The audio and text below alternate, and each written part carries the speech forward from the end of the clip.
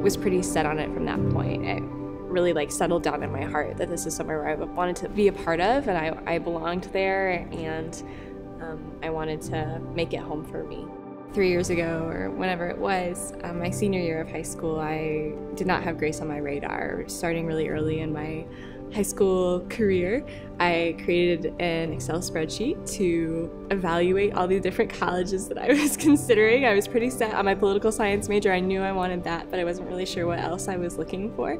So I had all these different factors that I had lined up. But Grace was like not on that Excel spreadsheet at all. I had heard about it. I went on um, a mission trip in high school and had some awesome leaders that were from Grace. Somehow didn't think that um, Grace had my major. I hadn't been particularly interested in it. As I was walking around campus, I was watching how people were interacting with each other. I was hearing how they talked, I saw how they dressed, and I felt like I fit in. I felt like I belonged. Grace really seems like home to me, and that wasn't something that I had known to look for in all of my Excel spreadsheet factors.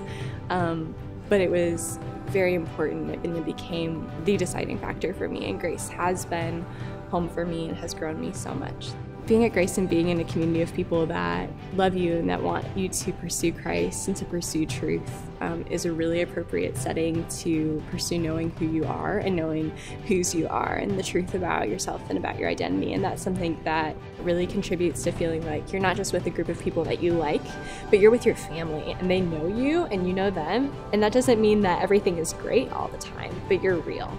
And I think that's really, really unique and special and really fell in love with the campus and with the people here.